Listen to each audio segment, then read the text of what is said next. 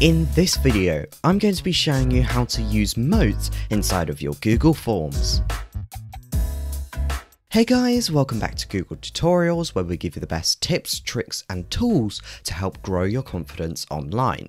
So if you're new here, please consider subscribing. For those of you who don't know what Mote is, Mote is a great tool which enables you to leave feedback and comments directly from within Google Classroom on students' work and documents, as well as directly from within Google Forms. And there are two ways you can utilize Mote inside of your Google Forms. The first way is to ask questions to students using Mote, and the second way is to get students to leave verbal responses using Mote. Now to add a Mote question, what you want to do is to either create a brand new question or to head on into a pre-existing one. And then right at the bottom, you'll see the Mote icon here.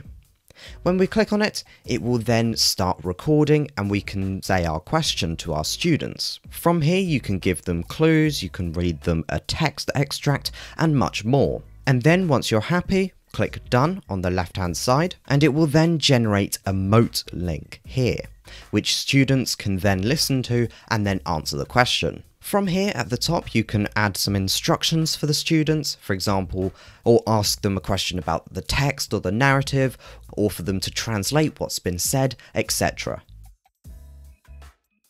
Now, if we preview the question, we're able to listen back to the recording and then answer the question. However, we have two options here.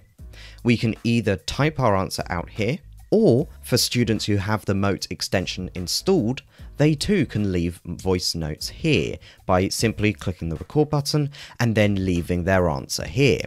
Then it will give the teacher a Mote link, which they can then play back and mark as necessary. If you enjoyed this video, please give it a like and subscribe, since we post some of the best tips, tricks and tools to help grow your confidence online. Thank you all so much for watching, and I'll see you soon.